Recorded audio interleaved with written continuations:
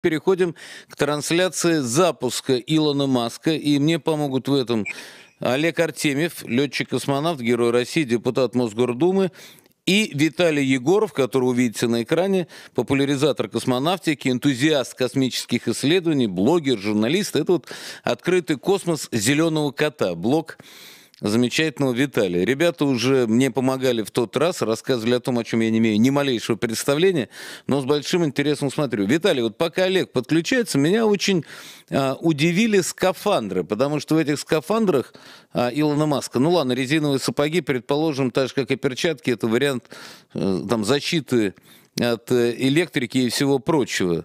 Но я вот чего не могу понять. А там же нет никакой системы жизнеобеспечения к этому скафандру, не подключишь. То есть это больше костюмчик, нет, а не скафандр? Жизни... Нет, нет. Э, нет, там есть, конечно, системы жизнеобеспечения. Они, то есть это полноценный, э, ну, это средство спасения в случае разгерметизации. У них просто разъем припрятан. Его, когда они идут, его не видно. У них там клапан, он на ноге, на правом колене. А когда они в Теслу садились перед поездкой, было видно, как они его подключали. Ну и сейчас они, когда уже сидят э, в корабле, там тоже можно не знаю, на ракурсах вроде не видно, но там шланг и кабель подходит к ноге. Все-таки есть, да? И внутри, да, внутри у них герметичность. Но здесь есть один момент, очень сильно отличающий наш, например, Сокол, может, он не столь эстетичен, но он более функционален а, с тем, что есть здесь. А, вот для Маска, по сути, задача разработчиков его скафандра была просто сделать внутри, по крайней мере, герметичный объем в форме человеческого тела когда он надуется, если наружу будет э, вакуум, а внутри нужно будет поддерживать человека, он, надуется, и человеку будет, в общем-то, не, неудобно в нем, но э, им и не надо, им и не нужно удобство. Они пассажиры, они не управляют кораблем. Если что-то произойдет, кораблем будут полностью управлять с земли. А, а у нашего а корабля наши... есть ручное управление. Олег, то есть вы бы в таком скафандре справились или нет, который вот новый скафандр у Маска? О. То есть они функциональны или нет? Так, это у меня спрашиваете, да? просто... Да, ну, Олег, кто еще знает а, о том, каково да. это в скафандре управлять кораблем? Да, да, ну, во-первых, здравствуйте, всем привет. И, Здравствуйте, Олег. Э, ну, на самом деле, вот те скафандры, которые я вижу, они, конечно, для меня они необычные, потому что на, наши, наши скафандры, они как бы такие, по, можно сказать, по коренастее и по, подобротнее. А вот то, что, может быть, это новые материалы, новые технологии, и Э, понимаете, вот наш скафандр, он э, спасает нас э, при разгерметизации, а как вот у них скафандр работает, я, честно говоря, не знаю. И, ну, наверняка он сделан на тех же принципах, как и у нас, и они подстыковываются к системе жизнеобеспечения, которая идет к кораблю, но как, как работает, я точно не знаю. Но я надеюсь, что и раз они сертифицированы по безопасности, то Э, при Просто Виталий, Виталий сказал, что вот в этих новых скафандрах невозможно управлять кораблем, что ты, но в случае чего оказываешься просто туристом. В отличие от наших, в которых можно осуществлять все необходимые манипуляции для ручного управления. Ну, мы, э, да, но если ты умеешь э, работать в нашем скафандре и правильно все сделал, при, пристегнулся, увязался хорошо, то можно все. Но могут быть разные ситуации, поэтому Тут зависит от того человека, как он обучен. А ну, я не уверен, что э, скафандр не даст управлять. Это, это ну как это? это? Это надо знать тогда. Ему, Италия, им наверное, не нужно управлять. Скафандр. Них... А? Да, нет, я думаю, них, что нужно. Нет, просто... Знаете, мужики, что интересно, нет мой... управления. Да, мой Ручек сын... управления нет. Мой сын Александр делал фильм, и так получилось, что один из документальных фильмов, который он делал, был как раз о парне нашем, который уехал из России в Америку, и он как раз один из создателей перчаток для этих скафандров. Обидно, что наши умельцы помогают американцам вместо того, чтобы поднимать нашу космонавтику. Но был такой тяжелый период нашей жизни, когда забыли о собственном космосе, Нет, ну... и, конечно, хорошо, что сейчас возвращаемся. Ну, да, на, наши умельцы, они не только в Америке, они и в Китае, и в Индии, и в, в, в, это, в Иране, в Ираке, они везде. Поэтому не, не только они уехали в Америку. То есть у нас такой период был, что разъехались везде. У нас такой был запас специалистов, что тут не, не на одну страну бы хватило, а на много стран. Поэтому это не только в Америке так. Но перчатки мне, например, нравятся. Почему? Классные перчатки. Классные, классные. Все, что сделано, все, что сделано в этом Дрэгоне, это учтен опыт всех, э, всей истории космонавтики, это я уверен. Вот. И, Но выглядит и они эстетично. нас очень уважают. Да, да, очень красиво выглядит. Мне на самом деле, знаете, кто нравится? Тот персонал, который обслуживает. Вот если вы, я просто не знаю, как сегодня, вот прошлый старт я заранее смотрел, и то, те люди вот в черных этих комбинезонах, все подписаны, кто что делает, э, за такой э, боевой расчет, э, вот это, конечно, здорово. Это как бы воодушевляет тех людей, которые там работают. То есть это так, очень интересно сделано. И со стороны очень здорово наблюдать э, за всей, за всей этой работой. Я, честно нас, говоря, конечно, желаю ребятам, чтобы у них все получилось, потому что я по-прежнему отношусь к космосу не как к соревнованию, а как к такой общечеловеческой задаче покорения внеземного пространства. То есть, мне кажется, это больше, чем Правильно. отдельная страна и каждый человек. Да. Так это каждый Так фактически человек. э, сейчас так и получается. Да. Сейчас станция же Больше МКС всего работает жалею. на всех. Да, больше всего жалею, что мы не там, не, не смотрим прямо при- в онлайне там, чтобы рядышком находиться. Вот это было бы очень интересно. Олег, сколько вы на орбите провели? Ну, я за два полета год у меня получился. Ну, немного, конечно, ну, так. Немного? Так, Ни хрена полета. себе немного. Ну, Я правильно да понимаю, не, что ну, если вам позвонили бы и сказали, Олег, тут такая тема, 4.50 до старта, но можешь успеть, вы бы запрыгнули и туда. Не, ну, конечно, не, ну, если человек готов, то я думаю, что это можно. То есть у нас же, мы же подготовку свою не прекращаем, мы постоянно в такой боевой готовности. Поэтому это не только я, это любой космонавт, который в отряде, в действующем, то он мог бы это сделать. Поэтому... Виталий, мечтаете мы о полете? готовы. Я думаю, лететь должны не блогеры и журналисты, а профессионалы. От них будет просто польза больше. Туристом бы скатался на несколько дней. Согласен а с вот, вами. э, в на полгода я просто там лишний буду. Не, мне предлагали, кстати, был момент, э, когда мне говорили, давай, я сказал, это непорядочно по отношению к ребятам, которые свою жизнь положили, чтобы полететь в космос, занимать их место. То есть есть герои, для которых это ну, смысл жизни, цель жизни. Поэтому лучше уступить место тем, кому это действительно принципиально важно. Ну, у меня такой подход, так что, Виталий, абсолютно поддерживаю ваш подход. Ну что, 3 минуты 47 секунд. На- ну, вот буду держать за них полетят. пальцы скрещенными, чтобы у ребят все пошло хорошо. Олег, вот три минуты. Что происходит в душе космонавта? Вы же, наверное, этих ребят понимаете, как никто другой. Пульс под Ой, 200? это вот эти три минуты, да, это во- волнение, то есть лишь бы не отменили старт, но там есть такие уже операции, которые невозможно отменить. Я не знаю, как вот на американском корабле, но у нас э, еще есть возможность все вернуть э, назад. Но э, когда уже наступает, когда возврат невозможен, тогда уже думаешь, ну все, командировка начинается. А так у тебя же много... Красиво. ну, Командировка Да, начинается. много, да, много таких моментов, которые могут отложить старт. Это помимо неисправности ракеты и э, если ты, космонавт тоже может что-то не так сделать, но это может быть и здоровье того члена экипажа, который рядом с тобой, и самого, поэтому тут самое главное, чтобы все это не получилось из-за тебя. Поэтому А тут, какой э, пульс должен быть у космонавта, чтобы отменили? То есть контролирует Не, пульс тут, э, э, Не, ну пульс-то тут может и зашкалить, потому что тут все-таки волнение. Другое дело, что люди подготовленные, и э, вот эта ситуация, которая проигрывается, ну и, и которая ну, по-настоящему очень много раз, и поэтому э, как только вот это все, весь отсчет идет, мы в рабочем состоянии, мы просто э, осматриваем товарищей, кабину, все, то есть э, все, только рабочая обстановка, поэтому ничего такого, ни- ни- ничего не может вывести из строя, это точно. Время останавливается? Вот эти две минуты длятся вечность? Время останавливается? Да Дождь не, пошел. не, ну это время, э, да, тут, э, тут можно же на старте, сидишь же за два с половиной часа до старта, там можно и поспать, э, есть моменты, есть можно и подремать, когда идут проверки интересно. ракеты и заправки. Да, а песни у нас, вот песни мы слушаем, я не знаю, как у них, вот у нас каждый член экипажа по пять песен, треков выбирает, и самых любимых, и мы их слушаем, некоторые даже подтанцовывают, поэтому бывает по-разному. А что за экипаж у американцев?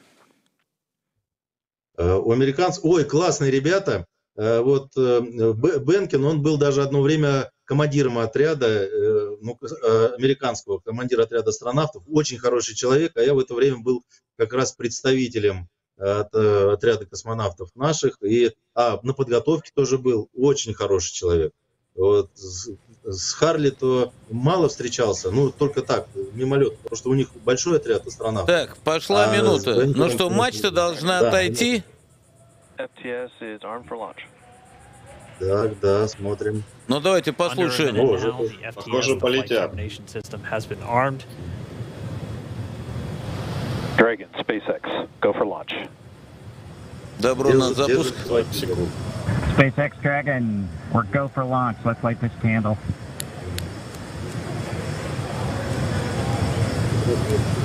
T minus 30 seconds. 30 секунд.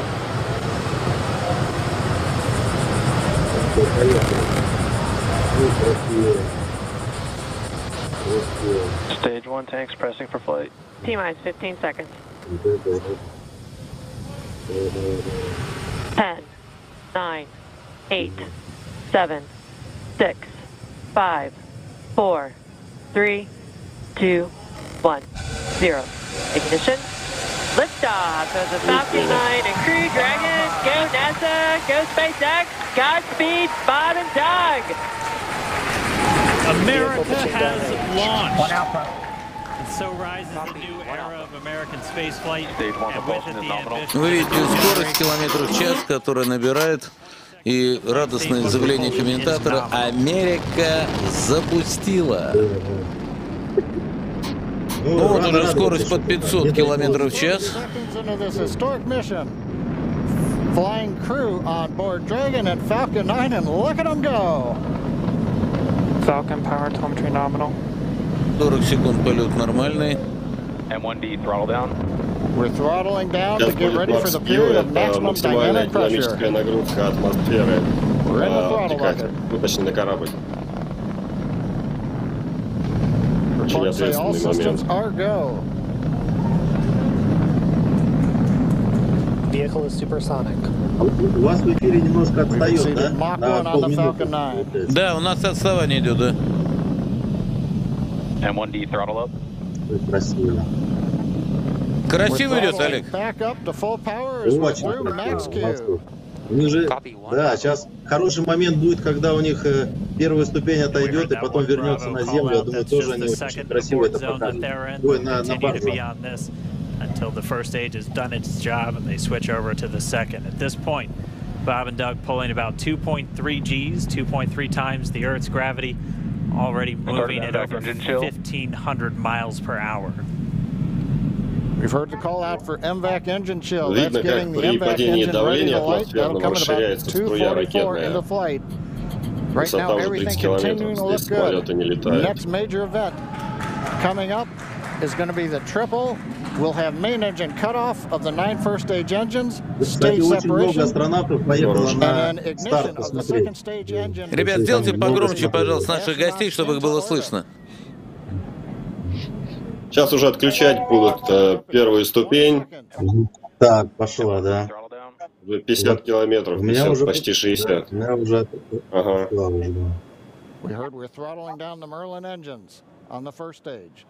Да, да, отделилась.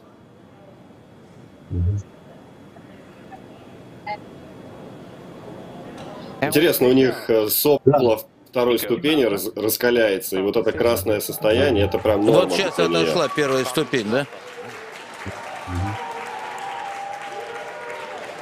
У них система разделения ступеней интересная. Такой толкач от, выталкивает две ступени, разделяет.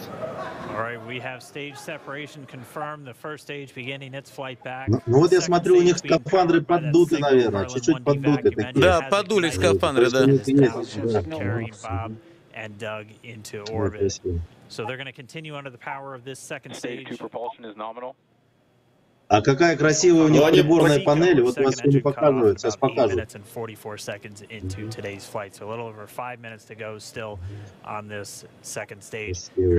Они опубликовали симулятор для всех желающих. И этот симулятор очень похож на то, чем они, на что они смотрят. Да. Да. То есть дали по возможность попробовать каждому постыковаться с, с МКС до того, как сами это сделали. А сколько им добираться до МКС? 19 так, у них, часов. по-моему, 18 часов они, да?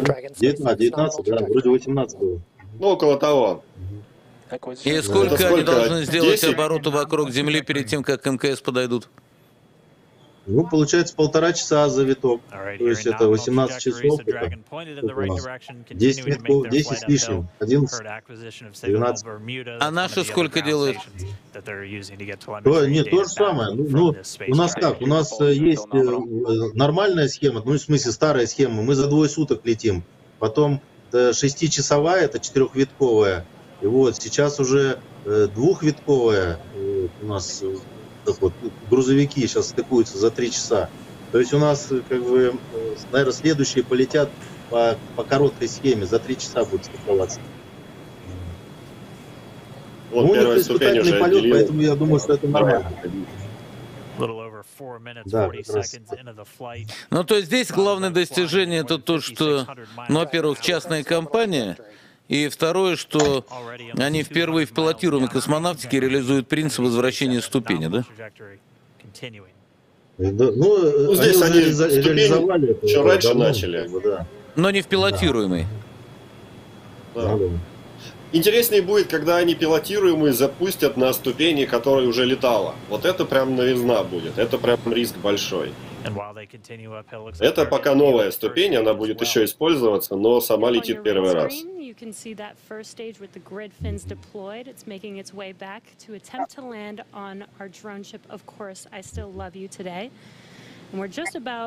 А куда должна uh, приземлиться первая ступень? Приводниться или приземлиться? Да. На, на баржу, приземлиться на баржу. А мы почему не хотим так делать? Ну, у нас же территория большая, то есть мы можем... Это у них уже да нет, техни... нет. Технически можно было бы, они же сажают на сушу возле, прям, возле места старта, прилетает у них ступень. Ну, ну, а, это вопрос экономический. Же... Да, не, если бы у них бы на западном Такое... побережье космодром был, может быть, еще бы они на, на сушу бы сажали, а? А так-то они же, у них старт в сторону океана, поэтому они летят э, как бы по трассе Нет, полета. У них есть логично. Если, если нагрузка небольшая, то у них есть возможность вернуть прямо к месту старта. Вот когда Falcon Heavy в старте приземлились, прям э, недалеко от того места, где стартовали, у них это есть возможность. У нас тоже была бы такая возможность, что у нас там, Казахстан в пустыне, сажай сколько хочешь. А, это вопрос экономики. Э, для такой системы, для многоразовой, нужно очень много запусков. И сейчас, а у нас много ракет. Маск, э, Маск вынужден э, свои большие ракеты, а Falcon 9 это тяжелая ракета, он вынужден гонять по всем задачам, которые только есть, даже с легкой нагрузкой. У него было, был один пуск года два назад, он 3 тонны запускал. Ракета, которая может запустить 20 тонн, запускала 3 тонны. Это даже не четверть пустая.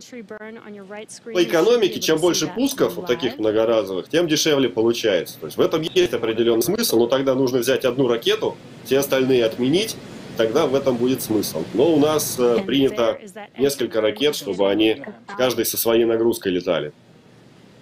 Олег, хочется в такой красотуле полетать?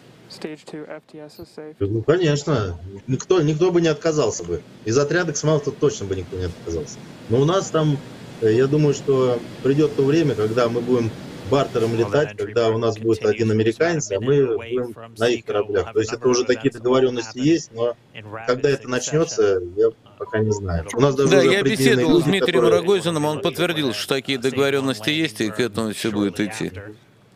Ну, Дай бог. Дай бог, чтобы они остались, потому что, ну как, как они себя поведут дальше, не знаю. Олег, они нормальные ребята-то? отличные. Но нет, те, кто с нами работает, это у нас э, как бы ценности одни. Это семья, мир в доме, мир на земле, международное сотрудничество, те люди, вот, с которыми мы работаем, это они абсолютно хорошие. Но вот когда мы разговариваем с теми людьми, с кем работаем, они говорят, что в основном какие-то вот палочки им вставляют. Это Сенат, там есть люди, которые не особо любят нашу страну, поэтому вот так у нас получается. Ну, немножко не, не так хорошо, как хотелось. Но пока МКС летает, сотрудничество в любом случае будет. Да не знаю, ко всему идет. Олег, к полету на Луну готовитесь? Ну, на самом деле, пока еще рановато. Надо сначала, чтобы был корабль, но с корабля пока нету. Вот даже вот этот корабль, который сейчас у нас, это как бы это второй доступ в космос от МКС. Но он, до, до Луны он не полетит, это точно. Полетит уже... А, ступень села. Вот нет, момент. у нас еще пока нет, 20 секунд. Мы с небольшим запозданием а. идем, сейчас посмотрим, как ступень должна сесть. Вот Момент посадки обычно не показывают, там баржа колеблется и сигнал спутниковой тарелка теряет. Не, ну вот она приземлилась, да? Ну, вот сам момент да. посадки обычно не показывают, потом в записи Я будет. думаю, что там какие-нибудь секреты просто не хотят показывать. Да нет. Там уже все столько раз показывали, и аварии показывали, и успешные посадки показывали. Это чисто техническая проблема. Баржа колеблется, а сигнал передается через спутниковую тарелку. Когда ракета приближается, все это начинает колебаться. Но ребята, получается, точно-точно посадили, ничего не скажешь. Красавцы. Молодцы, Научились. скорость... Опыт большой уже. Да, 27 тысяч километров в час, и они вышли на высоту 200 километров. Нет, тут э, у первой ступени нет столько. У них скорость 2 э, километра нет, в секунду. Нет, я это не про первую 4... ступень, я про сам корабль. А, у этих? Ну это да. А вы заметили, какие сапоги? Сапоги у астронавтов такие интересные. Да, мы обращали внимание, резиновые. тоже такие. Да, но у нас тоже такие сапоги, но мы их снимаем перед тем, как корабль заходим. Но это никогда не показывают. Может быть, это как бы скопировали, они в этих сапогах полетели. Очень интересно. А зачем сапоги, Олег? Ну, сапоги, чтобы не испортить скафандр. Вот в то, том, на котором мы летим в Соколе, нам мы одеваем как раз такие большие сапоги э, резиновые и идем до ракеты в них и поднимаемся э, в саму кабину туда, корабль, и там перед тем, как э, заходить в бытовой отсек, мы их и снимаем. Ну, у каждого свой. Э, вот сапоги делаются в единственном экземпляре для каждого космонавта, для каждого скафандра. А тут они не снимают, так очень интересно. Олег, вот смотрите, 12 минут уже полет. Что в этот момент происходит в голове космонавта? То есть чем занят космонавт? Ну, я вижу, что у них э, в руках ни борт документации, ничего нет, ни планшетов. То есть у них все на экранах. И так как э, полет испытательный, они, наверное, просто наблюдают и пока не принимают ни в чем участие. То есть я вижу, что никакие команды они не выдают. Все, отделились, вышли на орбиту. Вышли, да, все? Да, 12 минут. Владимир, вот обратите внимание, у него на ноге такой черный шланг идет да. параллельно ноге снизу. Это вот это как раз да? отдува, да. Ребят, что мы сейчас видели? Насколько... Это вторая ступень пошла, да? Да, они на орбите. Сейчас, а, нет, солнечные батареи у них уже не раскрываются, так что все, они, по крайней мере, до опорной орбиты. Теперь вот 19 часов, и потом можно тоже в прямом эфире стыковку смотреть. Это тоже будет ответственный момент. Согласен. А вот э, что вот мы сейчас видим? Это отделение второй ступени? Это съемка со второй ступени на корабль. Эти крылышки, это как раз у корабля. Да, ну то есть вторая ступень отделилась. А. Что произойдет со второй ступенью? Упадет, сгорит в атмосфере через несколько дней. Ну, то есть ее не пытаются вернуть на Землю, нет смысла? Нет. Дороговато было бы, конечно. Слушайте, мужики, знаете, что меня удивляет? Что сидел в нашей Калуге, да?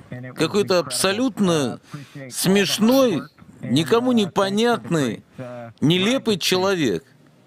И вот он эту всю тему замутил, и на самом деле, вот в вопросе теории, никто от этого и не ушел. Ведь это все Циолковский, да, все эти ступени, все эти выходы. Вот просто удивительно, насколько, ну что, сто с лишним лет прошло, смешной школьный учитель оказался провидцем. Да, он целый план развития отрасли нарисовал, поэтому это да, очень интересный человек. Такого он же из, Калу... он же из Калуги, правильно?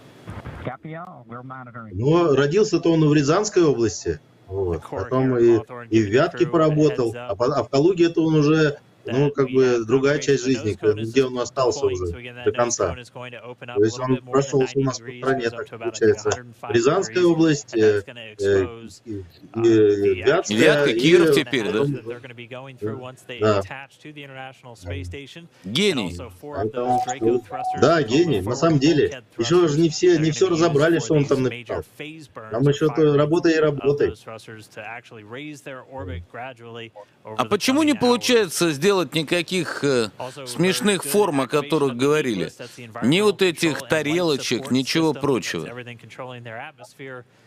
То есть аэродинамически бессмысленно Тарелка в атмосфере еще сработает. Были такие эксперименты, были самолеты были. в виде тарелки и различные...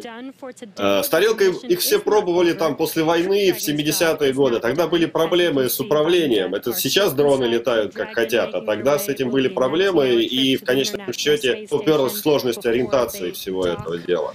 Летит-то оно хорошо, а надо же еще садиться. Ну и в результате, э, в принципе, э, и в космонавтике, и в авиации многое идет по пути э, не самого сложного или передового, а самого простого. Надежно. Например, мы до сих пор летаем на, на дозвуковых самолетах, хотя Конкорд и Ту-144, они фантастические были. Шаттлы те же самые, Буран. Они обогнали свое время, и это реально не красивые слова, это так и есть. Но в результате оказалось, они настолько свое время обогнали, что оказались не нужны в реальной, э, реальной нынешней космонавтике. Поэтому снова вернулись вот к таким маленьким капсулам. На самом деле, а тарелку печально. можно посмотреть в музее Черноголовки. Есть тарелка. Есть военно-технический музей в Черноголовке, там тарелка стоит, можно посмотреть. Олег, американцы опубликовали видео, э, снятые военно-морскими силами США, неопознанных летательных объектов. То есть они это показали. Вопрос, который вам, наверное, чаще всего задают, когда вы были в космосе, кто-нибудь стучался в иллюминатор или нет? Ну, только, только соседи, только соседи, с кем ты там живешь. Бывает неожиданно, когда... Ну, там же обычно ты понимаешь, кто, кто чем занимается, чтобы понимать э, в случае экстремальной ситуации, чтобы спасти человека, чтобы тебя спасли. Там. Поэтому ты знаешь, кто где находится. И бывает, когда у них меняется план работы, и потом что-то возникают какие-то стуки, откуда ты не понимаешь, что тогда да, настораживаешься. Бывает такое. Так, а вы как относитесь э, к идее внепланетных цивилизаций. Мне всегда казалось, честно говоря, дикой глупостью, когда говорят, что вот инопланетяне перелетают и останавливаются на околоземной орбите. То есть лететь такое расстояние, чтобы не преодолеть, ну, какое-то там несчастное еще несколько, то есть даже сотен километров, это смехотворно. То есть долетели, уже бы и приземлились. Ну да. Ну, ну мы же можем их на голову залезть. Тоже верно. Виталий, вас было не слышно. Может где-то они...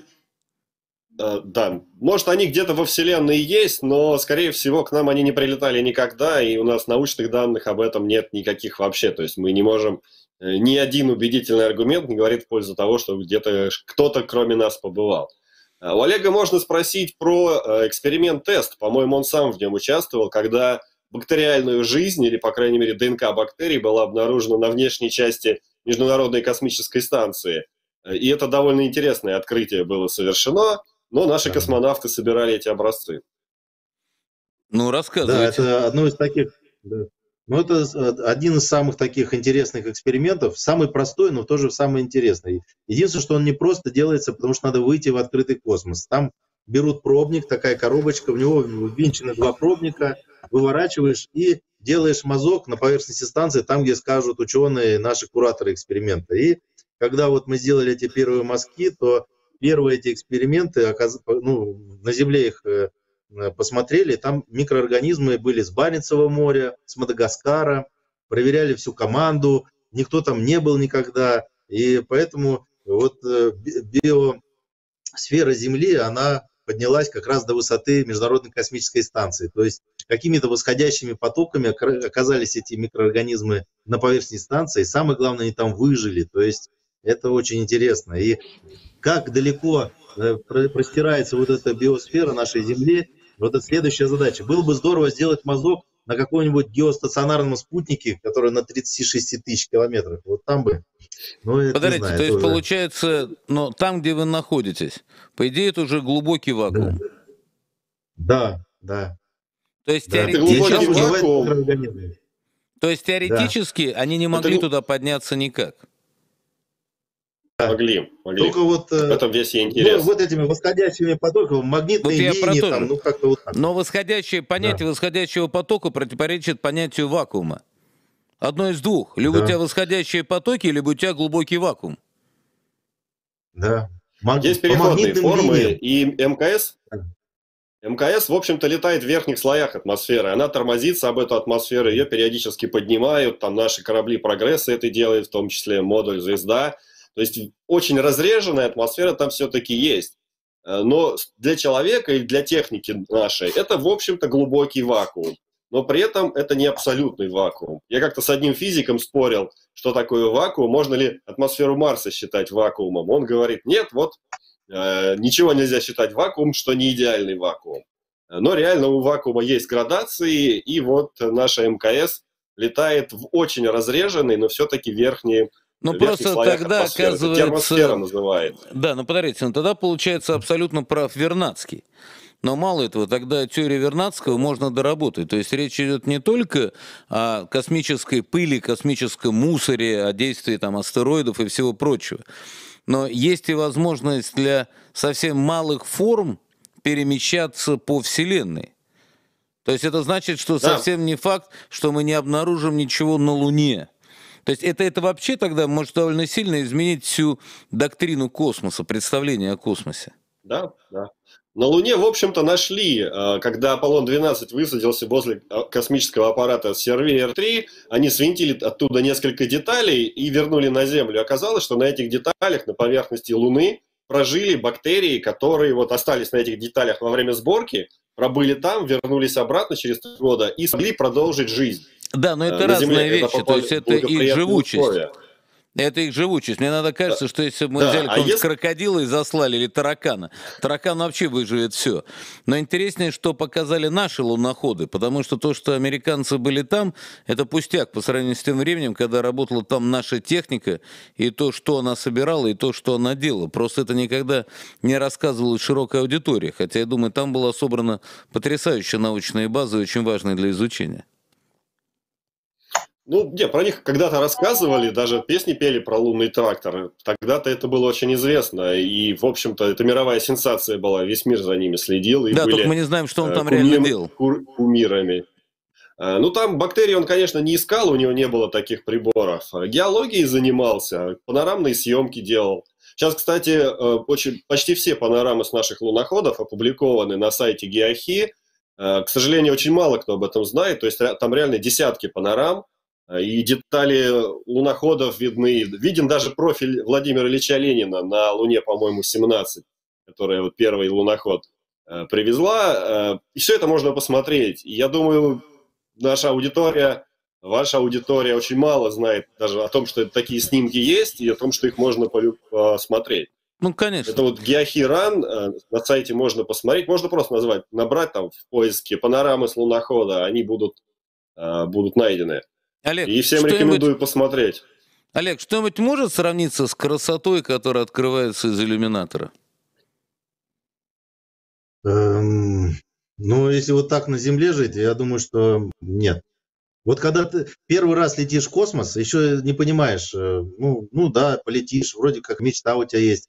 А до этого еще, когда ты ветераны тебе говорят, вот, это земля, ты, как здорово, что ты полетишь на землю, ты увидишь ее. Вот первый ветеран скажет, второй, третий, когда 30 или 40 раз, ну и забываешь, и как замыливается. Ну это, знаешь, что-то ерунда. Но когда ты первый раз из, из иллюмината видишь землю, то ты понимаешь, что они были все были правы, и вот эта вся подготовка, вот, например, у меня 11 лет была до первого полета, ты понимаешь, что ты ни одного дня не зря пропустил, чтобы, э, ну, работал, чтобы попасть и посмотреть именно на землю. Если в этот момент что-то такое случится, что надо срочно возвращаться на землю, ты уже внутри уже думаешь, что уже не зря слетал, хотя это, конечно, не очень хорошо, потому что ты же должен еще программу полета выполнить.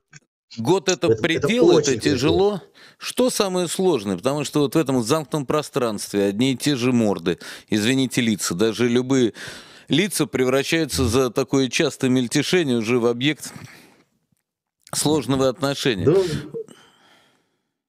Самое ну, тяжелое, нет, наверное, я понимаю, это... почему для меня космос хорош.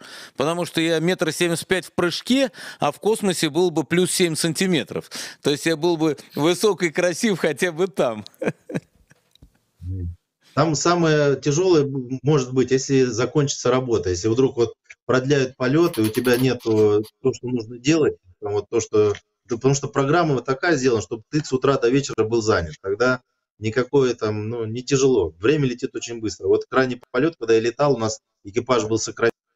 За две недели до, до вот уже, я уже начал собираться на землю, мне показалось, что я только прилетел недавно, и уже пора собираться. Поэтому там время очень летит быстро. Все люди, которые туда летят, они достаточно очень хорошо мотивированы и понимают, зачем это нужно. То есть они понимают, что какую-то пользу, что нужность тебе для человечества. Там, поэтому все это как бы Олег, а, а, а зачем это нужно? Ну вот смотрите, раньше в советское время я понимал. Ну, вы прилетали, всех знали, герои народные, машину давали, квартиру давали, зарплаты были большие. Последние годы, ну, это трагедия. То есть после того, как еще перестали быть военными, сразу были сложности. Но и ребята абсолютные фанаты, но условия жизни, то, что их ждет на земле, но несравнимо. Ну, сейчас стало хоть получше, но несравнимо с тем, что было в советское время. Хотя не такой ужас, как был в 90-е. То есть какая должна быть мотивация у ребят, хотя они понимают, что их ровесники устраиваются за это время на земле гораздо лучше? Ой, ну это как бы все-таки это, э, ну, большая часть это, конечно, романтизм такой, романтизм, потом на втором метре, месте это патриотизм, и в-третьих, это, это просто интересно, вы просто, когда вы уже в эту работу... То есть вы просто не повзрослевшие мальчишки? Ну, наверное. Просто надо вот как бы, может, с детства такие книжки читать, вот они у меня до сих пор, с собой вожу эти, Жюль Верна там, Фенемора Купера, там, не знаю. И когда пыль протираешь полок, всегда какую-нибудь книжку обязательно возьмешь, что-нибудь там полистаешь, и, и, ну, если пока жена тебя не, про, не, не, не ткнет, ты можешь читать и не остановиться невозможно. Поэтому э, все это очень интересно, очень любопытно, и поэтому вот э, самый тяжелый момент жизни в космо, у космонавта будет, это когда его медкомиссия списывает. И тогда, конечно, бывают разные, когда вот человек очень недоволен, и тех людей, которых списывает медкомиссия у нас в отряде космонавтов, их надо помочь, это понять и простить, если что-то они не так делают. Поэтому это вот как бы такой переломный момент в жизни. Поэтому у нас все космонавты пытаются продить свое Но мне кажется, это бывает еще летать. хуже. Бывает, когда ты всю жизнь готовишься и не летишь. Это, наверное, вообще очень тяжело. Да, такие случаи тоже. Да, поэтому но вот эта мотивация, которая тебе в детстве дана и потом в процессе жизни, она помогает тебе выдержать вот этот момент, когда если вдруг ты не слетал, но ты работал с теми людьми, ты помогал им лететь. То есть, Олег, и, а и по, даже по я... гамбургскому счету, вот есть такое у космонавтов, когда они понимают, кто из них вот реально чего стоит. И даже среди героев есть вот герои-герои. Да, не, ну конечно, это мы же в таком э, тесном мирке э, живем, что мы каждый, мы знаем каждому, вот кого ты можешь сзади оставить или рядом или ты должен присмотреть лишний раз. То есть э, ну, у нас у нас нет плохих людей, но э, ты знаешь о каждом все. Ты вместе с ними работаешь, вместе с ними выживаешь, вместе с ними учишься, и ты знаешь цену каждому человеку, кто рядом с тобой, которому кому надо помочь, а, а кого можно не трогать, он там сам все справится. Поэтому тут дело такое, да, тут гамбургский счет такой-то. Ну, Леонов был крут, Гагарин крут, Комаров крут? Каждый был крут для своего времени. То есть, э, то есть они сделали э, то дело, вот без которого бы мы сейчас бы не были теми людьми, которые мы сейчас есть. То есть это они для нас крутые очень ребята. Вот. Кстати, сегодня было у, у Леонова день рождения. Вот, к сожалению, в этом году ушел из жизни. Вот, хороший человек. То есть и они нам помогали. То есть помимо того, что они сделали для, для нашей Родины, там, летали, много дел сделали, они же, когда уже были здесь ветеранами, они нас никогда не забывали. И, то есть и мотивировали своими встречами, там, разговорами. Вот, мы ездили на родину Гагарина вместе, там, на место гибели Гагарина. То есть так встречались на разных праздниках. Поэтому они продолжали делать то дело, которое они вот когда-то начали. Поэтому Олег, а что после космоса? Вы же вы пилот, то есть вы самолет водить умеете? У нас э, есть летная подготовка, но мы, я не пилот. И после, вы имеете в виду, если я уволюсь э, и на пенсию, да?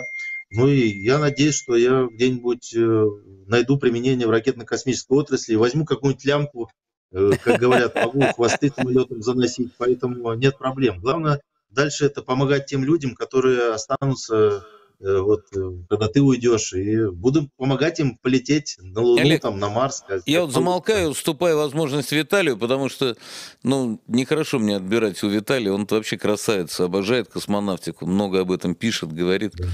Виталий, чем нынешнее поколение космонавтов отличается от предыдущих? Чем наши отличаются от американцев, китайцев или любых других? А, ну, я думаю, здесь... Так, что-то у нас зависло. Нет, нет, отлично вас слышу. Я думаю, все нормально. А, я думаю, здесь вопрос, люди, в общем, одни и те же. То есть, если бы Олега отправили в 65 году, он бы вполне успешно вышел бы в открытый космос и вернулся обратно. А, задачи разные. Тогда все-таки, это в принципе космонавтики, наши луноходы, можно было очень легко совершить что-то невероятное. Тогда, конечно, это было нелегко. Э, как там один музыкант сказал, что, мол, Гагарин просто сидел в кресле. Он полетел, он шагнул в неизвестное. И тогда это было, конечно, трудно. Леонов точно так же. Он пробыл в открытом космосе 22, 22 минуты. И, конечно, для сегодняшнего космонавта 22 минуты – только выйти и осмотреться. Э, но тогда это тоже был шаг неизвестный, это было опасно, техника была еще сырая, Э, и на тот момент, но при этом 22 минуты ты уже герой, тебя весь мир знает. Сейчас же космонавты, э, космонавтика и работа космонавтом – это прежде всего работа. Это большая, очень рутина, полгода, годовая экспедиция. Это, конечно, не подвиг э, в представлении простого человека. Ну, как говорится, каждый день в 8 утра вставать и идти на работу, это, конечно, не подвиг, но что-то героическое в этом есть. Но вот они... Мюнхгаузен, они... Да. Тот самый Мюнхгаузен, да, да они, вста... они встают и делают, и это все равно подвиг, потому что их э, от, от вакуума защищает стенка толщиной в 2 10-рублевые монеты. Там двуслойная стенка по 2 миллиметра толщиной. Вот возьмите 10 рублей монету, вторую сложить, вот столько защищает космонавтов, такая толщина так, металла защищает космонавтов от вакуума и фактически от смерти. Но они об этом не думают. У них есть работа, они ее работают. И в этом плане они как раз э, и старатели, которые уже делают очень большую, очень долгую, например, там исследование биологии. Э, Это нам как раз сейчас над нами издевается Олег, что-то нам показывает. Это что? Но это, наверное, не это вот как раз обычная переборка. Э, космического корабля, и ага. вот эта вот толщина как раз стенки вот такая вот. вот. Ну вот, да, где-то миллиметров 5 здесь, наверное. Да, вот она ну, и это, есть. Но это в Союзе, в Союзе, да. А сейчас больше, меньше? Им сложнее. О, Земля в иллюминаторе.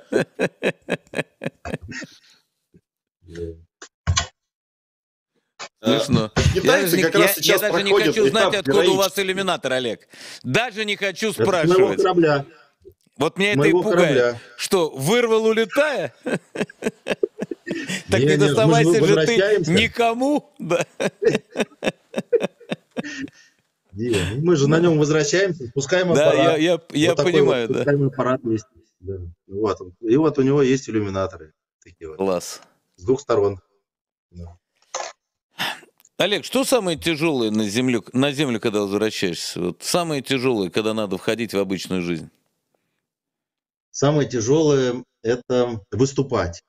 Вот, это как бы, ну, надо, там требуется, там надо доклады всякие читать, потом выступать перед э, населением, там, вот. Ну, один-два, как бы, просто надо, э, надо каждый раз, вот после выступления ты думаешь, надо подготовиться, надо написать, чтобы у тебя было вот что, о чем говорить, и, ну, и все, и забыл. И потом опять, и опять надо выступать, и опять, и опять, и опять. То есть это вот как бы тяжеловато. То есть это, но я понимаю, что это очень нужно, потому что все-таки нам нужно поколение, которое бы влюбилось бы в космонавтику, чтобы они тоже пришли к нам работать, там, делать новые корабли. Поэтому ты к этому относишься хорошо, но это на самом деле самое такое тяжелое. Вот учеба, она для меня легко. Я вот, э, мне очень это нравится.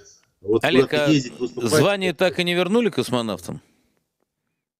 Звание, это имеется в виду... Э, военные. Э, военные? Нет, у нас с 2011 года отряд гражданский, но этот набор, вот, который сейчас э, крайне у нас был, в прошлом году, и у нас нескольким людям разрешили остаться военными, вот, ну, с приостановкой службы, но они как бы военные. есть, я не, быть, я, этого, я этого совсем не понимаю. Я считаю, что для меня космонавт всегда военный. Я не понимаю да, эти вот гражданские игры. В Америке я не они остаются. У нас да не, ну слушайте, ну, ну какой гражданский? Ну, для меня каждый, кто полетел, уже генерал, поэтому все должно быть генеральское. Не, ну, да. это же важно, это же и пенсии, все вместе. Это...